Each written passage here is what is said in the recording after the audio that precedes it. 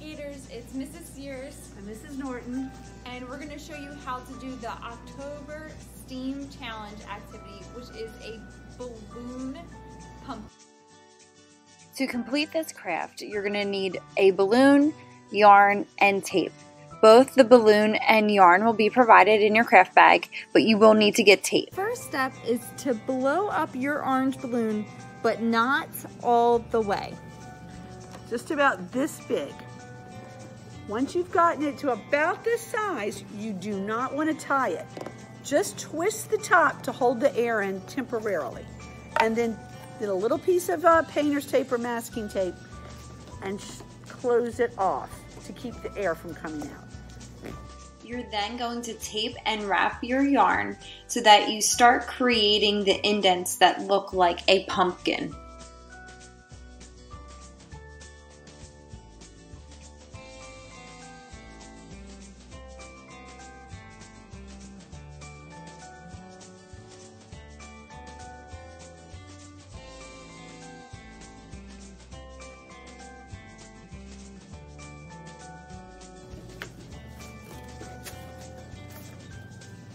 This is the tricky part, so don't get too frustrated.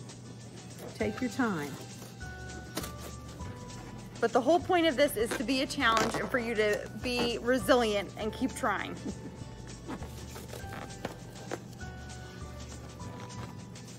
Okay, so now I have uh, the indents of where I think the pumpkin would be. I'm gonna cut my string and tie it.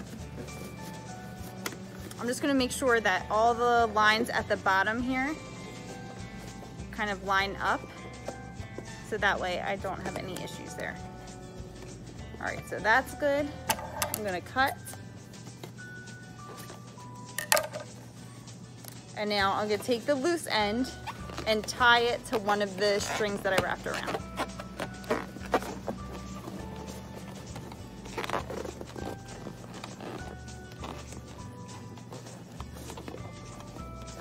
And then I'm just gonna yank on it and make sure that it's tight. And again, play with my strings until I get them aligned where I want them for my pumpkin. The fourth step is to make sure everything is secured and taped.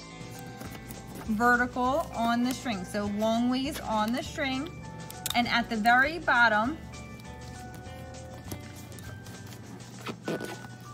she has already placed um, scotch tape all along the bottom there to secure those pieces. You want to make sure this area is very secure because you're going to start blowing it back up in one second.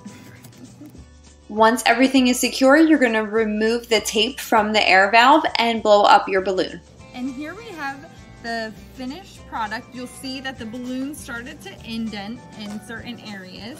And this really depends on how tight you pull your string when it's in a smaller balloon and making sure that your tape is securely on uh, each of the yarn strings.